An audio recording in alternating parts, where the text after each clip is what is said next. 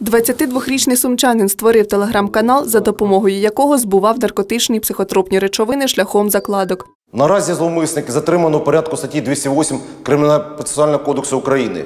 Вирішується питання щодо обрання запобіжного заходу та повідомлення йому про підозру у вчиненні кримінального правопорушення. Передбачено частиною 2 статті 307 Кримінального кодексу України. Слідство триває. В помешканні чоловіка правоохоронці знайшли і вилучили амфетамін та канабіс.